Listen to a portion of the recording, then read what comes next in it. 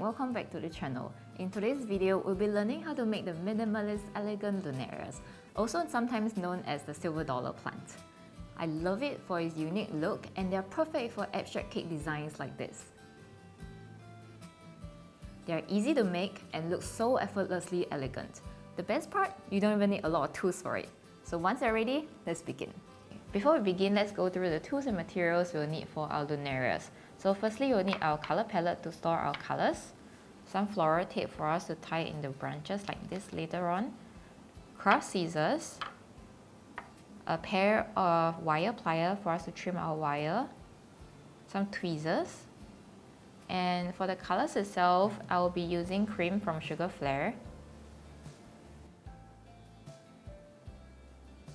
I have some silver dust here to give me some shimmery look to my lunarias. Um, some shortening, cornstarch in a cornstarch bag just in case our wafer paper gets too moist and I want to dry it out a little bit. So I have some wafer paper glue. And for my liquid, I'm using vodka to dilute my gel colors into a paintable consistency. So if you're wondering what liquid you should be using, you can go ahead and refer to this table over here. And for our wires, we'll be using two sizes. One will be the 30 gauge wire, which is a really, really flimsy one. And we'll be using a 20 gauge wire, which is a way thicker one. So you can see the difference here on my palm. So the thicker one will be used to create our branches that you see over here, and the thinner one will be to create the individual leaves of a lunaria. I'm using white because then I can dust it into any colors you want, and for lunaria they're usually generally pretty white or yellowish, so these are good colors to start with instead of using the green ones. Uh, some paper towels for us to just swatch our colors. And for the wafer paper, I'm using a O grade which measures about 0.22 millimeters thick. If you're unsure about wafer paper thickness, there is a link in the description box below where you can read up more on it. And then lastly, we have some brushes for us to work on our colors. So for our wafer paper painting, I usually go with brushes that are soft and has a shorter bristle. So this allows for better liquid control. And then I have a brush for my wafer paper glue. This is for us to stick our lunarias. and lastly, I have an even shorter bristle brush for me to dust my stem. And with that, we are ready to begin. If you're wondering how a lunaria looks like, it looks something like that. So it's basically made out of like a white branch with all these little leaves going around and they are often called the silver dollar plants as well. So you can see how these little leaves looks like coins and it has this shimmery tone. So we're gonna go ahead and learn how to make this. Okay, let me set this aside. Okay, first you'll need to start off with our wafer paper. So there isn't any template for this lunaria because I'm going to show you how you can uh, DIY your own and also just decide the size that you want to go with because there's literally no fixed size that you want to go with. Some of your uh, leaves can be smaller and some of them can be bigger and some of them can be more elongated. So there are different sizes I'm going to show you how to do all of them. Okay, so first starting off with uh, my wire, this is my 30 gauge wire. So generally what I do, uh, what I will get with um, one wire is I'll usually get two uh, silver dollar leaves out of it. So it looks something like that. Here. So this is so this is what we are going to go for. So each of the leaves individually, they look like that. So with 130 gauge wire, usually I can make two of these leaves. And that's what I'm going to be demonstrating today. So firstly, what I'm going to do with my 30 gauge wire is I'm going to go ahead and bend. And this will determine the shape of the individual uh, leaf that I have for my lunaria. So you want to go with a size that's slightly bigger than what you want because we're going to do a little pinch on top and it helps to and it will then reduce the size of the plant that we have so maybe something like that Just hook it around your hands and then at this point I'm going to then do a twist at the bottom like that and then with the twist I'm just going to go ahead and do a few more rounds to tighten it up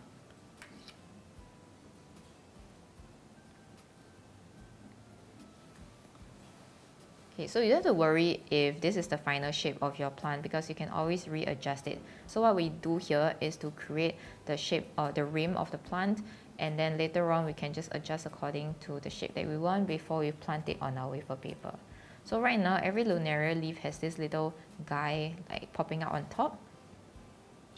So what we're going to do with that is we're going to grab our wire plier and just go ahead and stretch it out into an elongated shape first. Don't worry about that because we can always twist the shape later. And then we're just going to use my hands to pinch it this way. Okay, once I'm happy with that, I want it to be a really close. Not really a hook, but just a little tip, tip kind of popping out from the top. So something like that.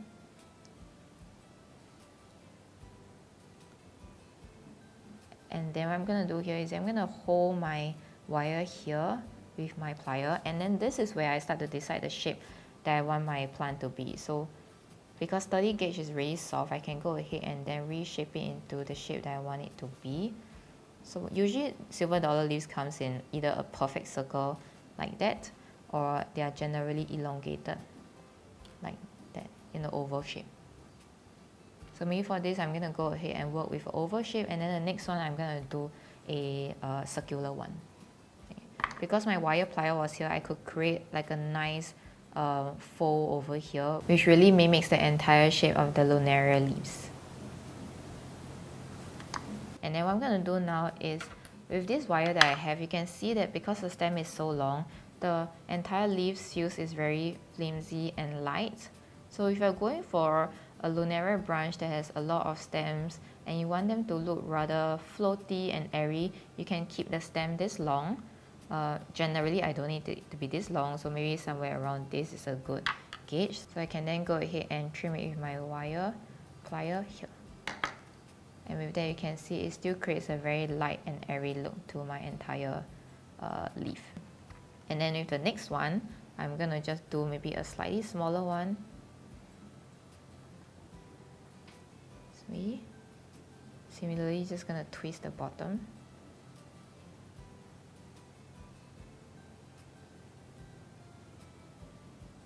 And then with my wire plier, I'm going to just pinch the top as well. And then holding it there, I'm then going to open up. And maybe for this guy, I'm going to do a mini circular one.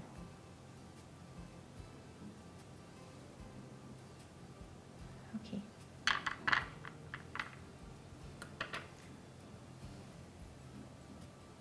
okay so you can see the difference in the shape of the two lunaria leaves that I just created. So this is pretty much like a skeleton of the entire leaf. And if I were to hold both at each end, you can see how this one really floats. And this is stiffer. Although they come from the same size, but because this has a longer stem, it allows it to float better. And this one is somewhat a stiffer one. So this is a good example to show you what you want to go with. Okay, and then right now what I'm going to do is I have my wafer paper here. So with the skeleton that I formed, I'm going to go ahead and stick my skeleton down onto my wafer paper this way. And this is what creates the body of our lunaria plant. So I'm going to use my wafer paper glue.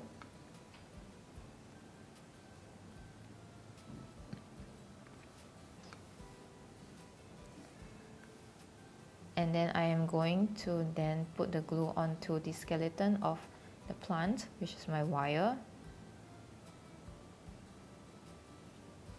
and then have it face down and stick onto my wafer paper. So I'm going to press it down for a few seconds so that the wafer paper or the wire adheres to the wafer paper.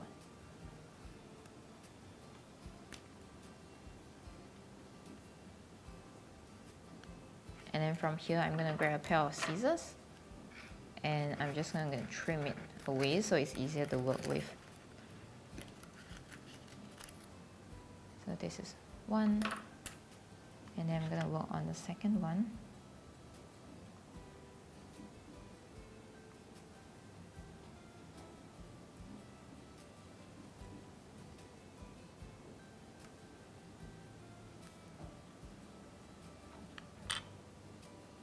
So just hold it down for a few seconds. A pair of scissors and then trim it.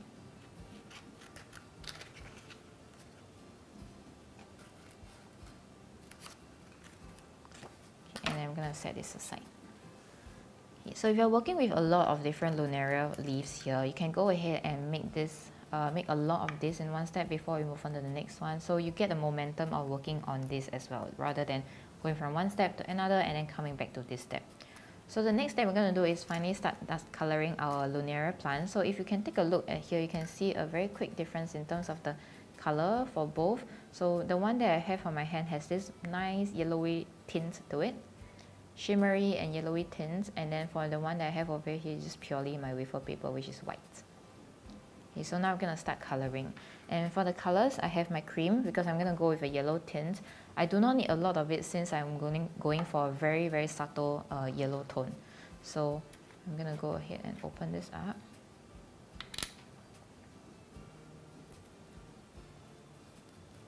And only just need a tiny, tiny bit of it.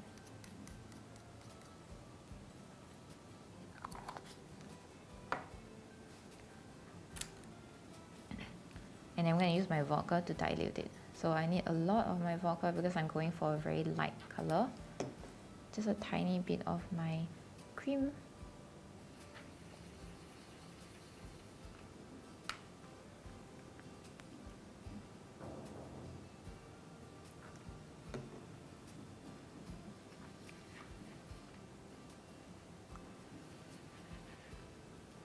Okay, so I'm going to just swatch my color to make sure that I get the color that I want. Okay, so you can see here is a very, very light shade of cream. Okay, and I think I'm happy with this. So I'm going to go ahead and start coloring on my lunaria leaves. So tapping away the excess. What I'm going to do here is I'm just going to gently paint over both sides. So one,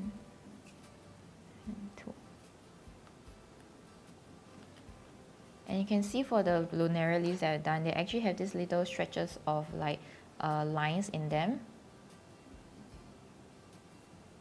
So what I'm going to do at this point is since the wafer paper is still wet and it's quite sticky, I have a bowl of uh, 30 gauge wire that I actually trim them into smaller pieces. So this one will act as the lines inside the plant. So I'm going to grab my tweezer and I'm going to start putting them on my leaf. So these lines, if you have noticed, they generally point towards a center point.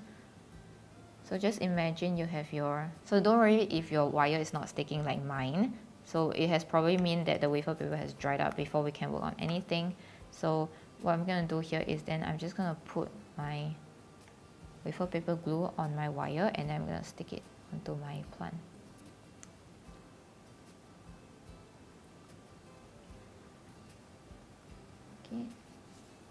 So maybe I have my glue brush on my left hand and my right hand will have my tweezers holding onto the wire.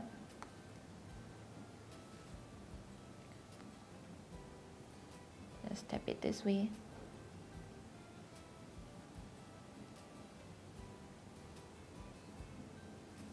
And then I'm going to stick it down so generally the lines come in a set of two or one and they generally point towards a center point. So you want to make sure that they all point to a center point. So something like a whiskers of a cat. So think of it that way. Uh, then I'm going to continue. Most of the time they have about like three uh, on one end or on one side and then about like two or three on the other side. All of them can look different so you don't have to really follow an exact way of doing so. Or you don't really have to follow an exact amount. Okay, so maybe for this I'll have two on one side and then three on the other side. You can see they're all pointing towards the center point here. Okay, and I'm to work on my next one.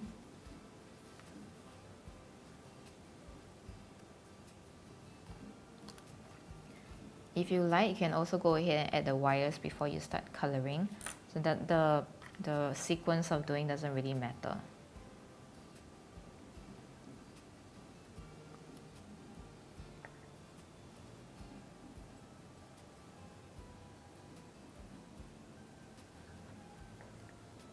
Sometimes for a smaller leaf, you can choose to go with shorter wires.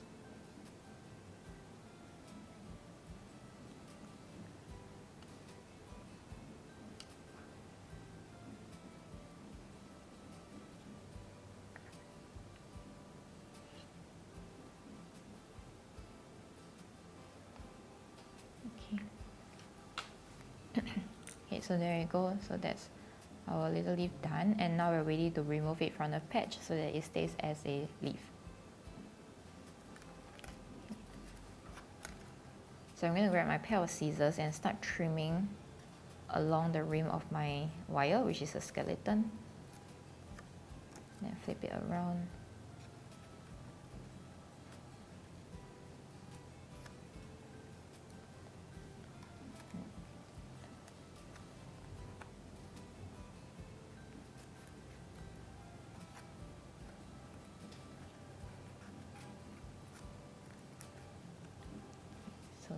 There's one down.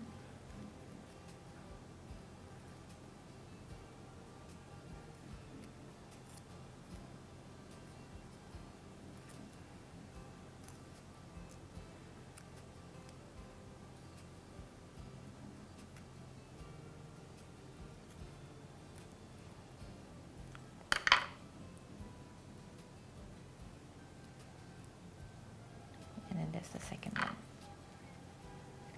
Okay, so right now you can see that our leaves are generally quite flat. Might have some movement because of the coloring that we did just now, but generally it's still quite flat if you take a look at this. So in order to give your lunaria leaves a lot more movement like this guy over here, you can go ahead and grab your brush, go back to the color that you have just mixed, and then you can just gently paint over on both sides. So what this does is allows the entire wafer paper to soften and with that you can then go ahead and bend your wire into the shape that you want. So maybe for this guy I can bend it this way. Okay, so for this guy I can fold it this way. So something different from what I had before. So we can just explore every shape and size that you can think of. Yeah, and then for this one, after I painted it, I can then just twist it maybe in like a nice, like, like twisted S shape. So then it looks like that. So if you happen to have some like trimmings here that you don't think is very nicely done, uh, for example, like here, you can see this one here is not really neat.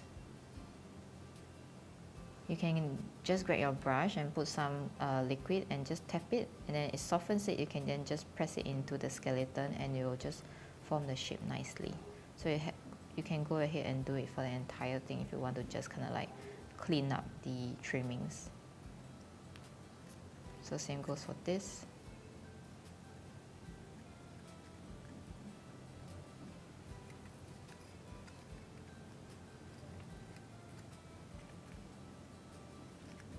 Yep, and there you go. And then with that, now we are ready to then add in the shimmery dust shine for our uh, little leaf. So I'm just going to grab my silver dust. So you can use any silver dust that adds a nice shimmer to your leaves.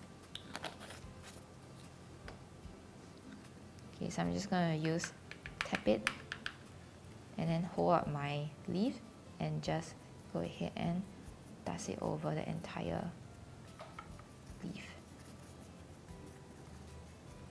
Yeah, so you, you can see the difference, the one that is dusted with a shimmery dust and one that's not dusted.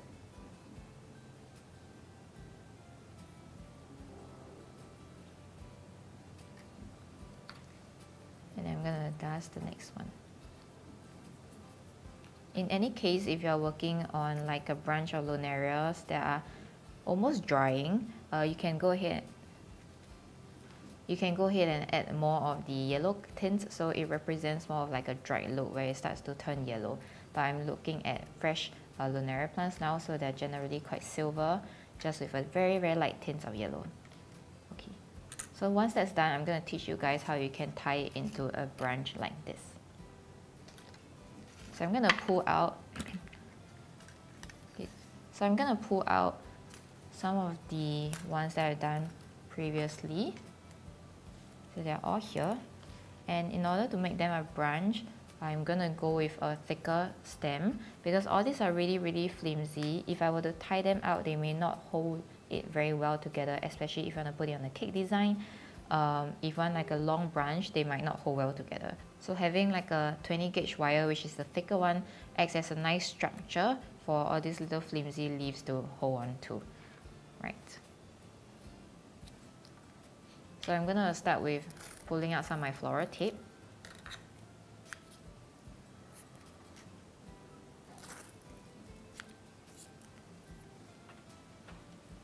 Let me just shift this aside.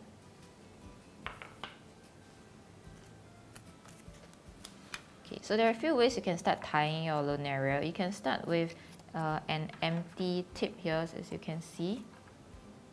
So it starts with the wire being empty here. Or you can also start your lunaria with, oops, or you can start your lunaria with the leaves popping out on top. So those are the two looks. One you have like a rounder top and one you have like a sharper top. So with all these little differences, it does help to create the entire, um, it does help to make the entire thing look a little bit different. So it's small details, but it makes a huge difference. Okay, so for this one, maybe I'm just gonna start off with like an empty top. And I'm just gonna also quickly explain the difference on how you can make both. So I'm going to start tying my floral tape all the way from the top first. So I'm going to pull my floral tape to activate the glue. And I'm going to start tying. So wrapping my floral tape around the wire. And wherever I'm stopping is probably where I'm going to start putting my first leaf. So here. Something like that. So if let's say you do not want a sharp tip here and you want that the leaves to grow straight from the top, you can then add your leaves this way so it comes out from the top. And then your floral tape will start from here. So put the leaf on and then start tying the floral tape. But I'm going for a different look, so I'm going to start off with the empty top first and then I'm going to put my leaf here. So the idea of this is pretty much like how we do like vines on our leaves. So always have a nice structure or if the wires are thick enough to form their own structure, you can just keep doing the same method. So putting a leaf on and then tie them together using floral tape and then go ahead and put another leaf on it. So there are different ways to do it. If you want like your lunarias to have a tighter look, you can have your uh, little leaf just growing straight out of the structure this way. And if let's say you want your lunarias to have a more floaty and every loop you can then pull out the wire and you can see with that it creates a nice uh, fluffy movement to our lunaria. Okay. And maybe I want a fluffy one and I'm just going to keep going. So since you're making your own lunaria, you can set your own rules as well. For me, I like my lunaria uh, leaves to be slightly distance in different um, distance away from each other. So when I have these two uh, leaves going so close, I like to just roll my floral tape down lower and then I'm going to add my third leaf over here. So that's how I like to play around. You can see the movement actually really helps with the entire look of the lunaria. So keep going.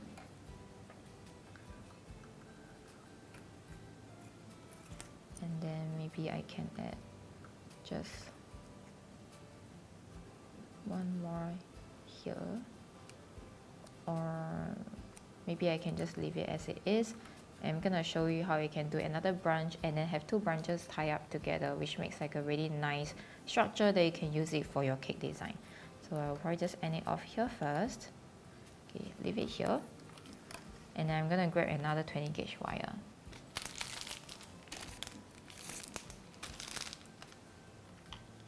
And maybe for the next 20 gauge wire, I'm going to do something different. So I'm going to start off my leaves maybe straight from the top this way. So something different from what we have here. So I have my floral tape, stretch it, And then now I'm going to start tying from the top, but now I have one of the uh, lunaria leaves already living on top. So tying it. And then maybe I can bend it this way. So for this, I'm going to do something slightly different from this. So you can see for this, I kind of alternate the, um, the positions of the leaves. So I have two on here and then one on here. So again, you can always switch it around with, uh, however you want it. But right now, this is the look that I have. Uh, and then for this, I'm going to do something different. So for this, I'm going to probably just work on them going on one end. And I want them to just bend downwards as well because I notice most lunaria plants have their leaves going like downwards. Since lunarias are actually a nice element to add to your cake design, you can also go ahead and create something more like abstract so you don't have to follow the flow of how nature is. Um, and then I'm gonna keep going. We're adding one more here.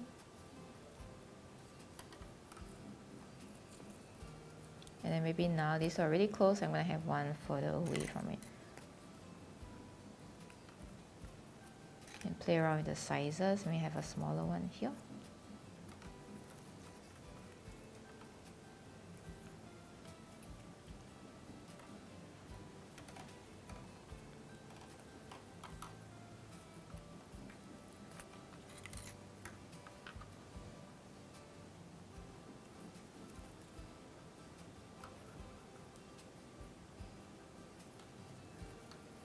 And then maybe I'm gonna end off with just one more. You have just one closer to it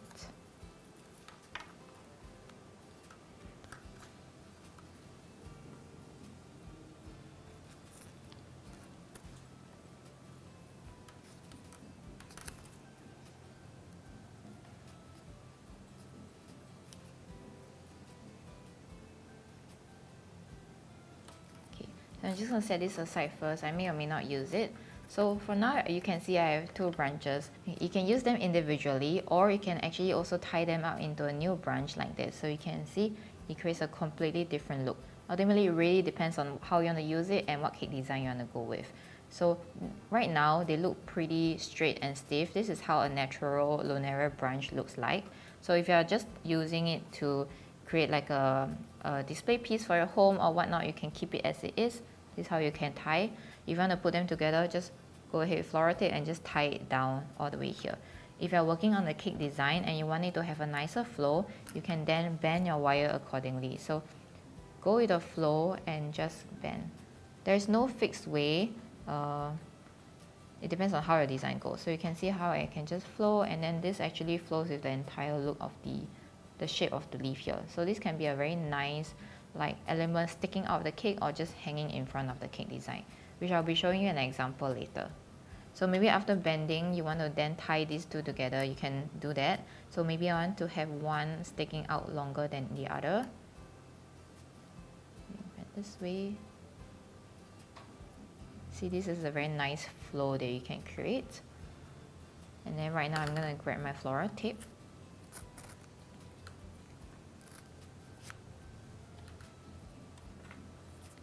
and then wherever I'm holding them together I can then use my floral tip and then tie them together.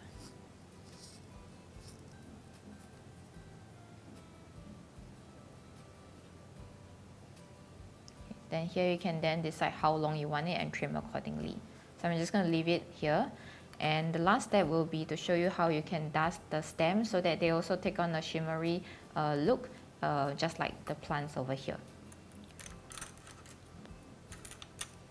Okay, so if you want your stem to have a shimmery glow to it, just like what we did for our plants, you can also then use your um, silver dust that we had just now and just go ahead and dust the stem.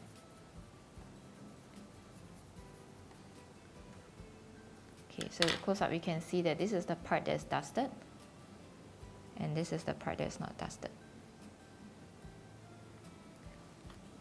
Okay, so this is how you tie the entire thing together to make sure they look like one family. And then I'm just going to go ahead and start dusting the top.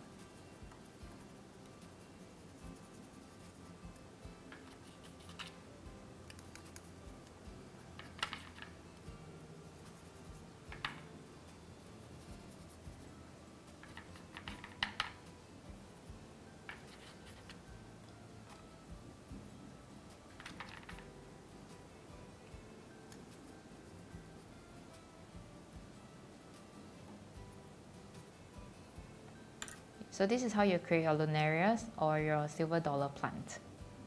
When you put all of them together, they're actually really, really pretty. This is a cake design that I've done with these lunarias. As you can see, they're simple but really makes the cake design pop.